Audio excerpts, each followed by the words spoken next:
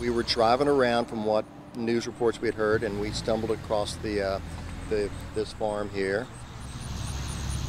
I don't know it's going go up through here, there's a guy up there with a vest on, he'll park you where you need to go. We drove 10 hours to be here. So that's And point of greatest eclipse. So I'm from West Palm Beach, Florida. convinced my parents to take me to North America. Yeah, so come over here and see, see the eclipse and yeah, make it make it into a holiday. Awesome. Good morning, guys. Happy Eclipse Day to you guys. Happy Taking care of us here. Appreciate it.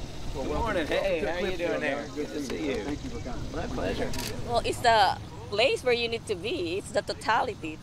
Oh wait, if you look at it, it kind of looks like um, the sun is like a moon. Oh, just amazing. You can see the movement.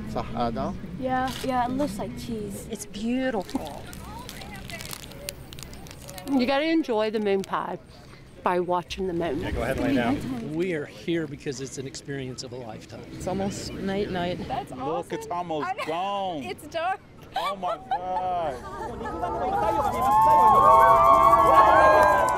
It's so pretty. Oh yeah, that's a cool Corona. It's almost it's, it's almost like the Star Trek symbol. You just you can't describe it. You know, it's really really intense. Ah. It's coming back. Woo! Come back, sun. Welcome back. Oh, and it's it's getting light. It is. I still have chills. That was so different than I had even was- imagined. It was so much more just magical. It's something completely out of your control, and you're just watching it happen.